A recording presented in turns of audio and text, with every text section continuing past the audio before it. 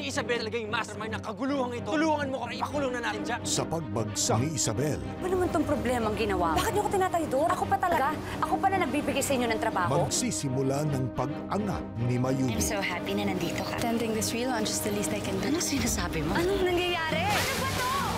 Let's all welcome the new president and general manager of Coco Bella, ang mutya ng kagandahan herself, Miss Mayumi De La Rosa. Sundan ngayong hapon sa The Step Daughters.